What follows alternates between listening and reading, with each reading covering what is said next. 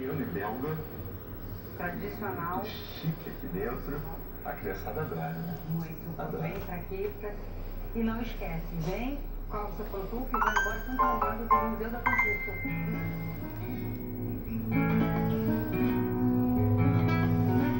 Sala dos diplomatas, freio.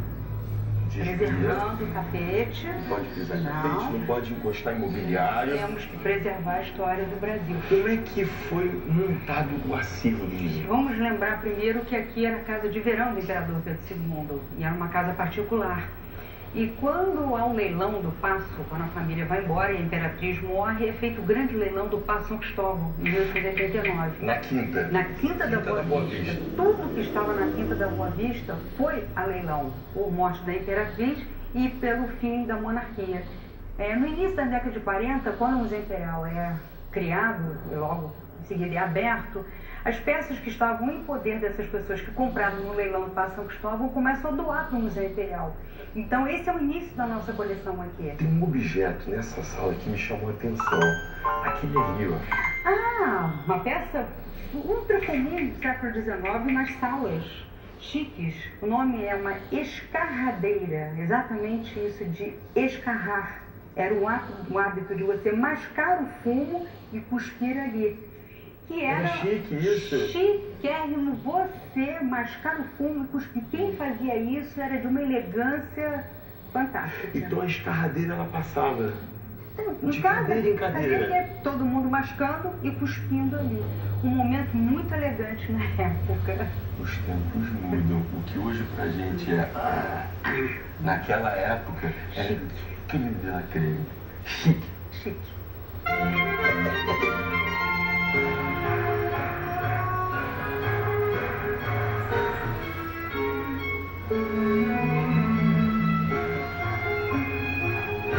Pena de ouro usada pela princesa Isabel na assinatura da Lei Áurea em 13 de maio de 1888 para libertar os negros escravizados. Como é que ela chegou aqui? O governo federal compra e entrega ao Museu Imperial em 2004. E compra do herdeiro, do bisneto da princesa Isabel, Do próprio herdeiro. do próprio herdeiro. Sala de música. Imagina quanta polca Quadrilha, valsa, era o que se dançava na época. era o fervo. Olha, a Ana Luísa tem uma história muito bacana nesse museu. Porque ela está há 32 anos, mas os pais dela trabalharam aqui. Meu pai fez o concurso para bibliotecário e passou para Petrópolis. Veio para Petrópolis, trabalhando no Museu Imperial, veio montar a biblioteca do Museu Imperial, a questão das obras raras do Museu Imperial e conheceu minha mãe aqui.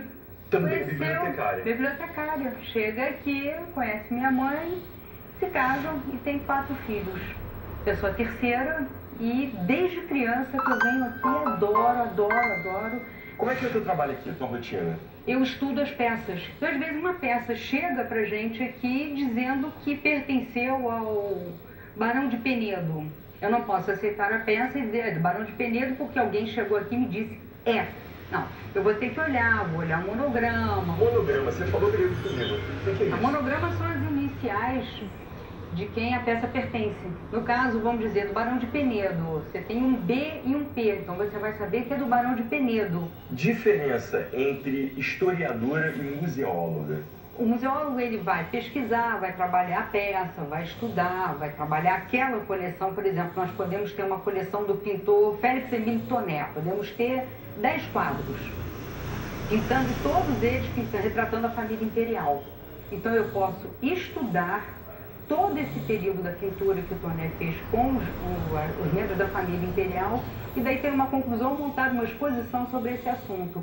E o historiador vai me dar a base né, para que eu me aprofunde na pesquisa e que eu feche esse círculo todo. É muito parceiro o historiador com o museólogo.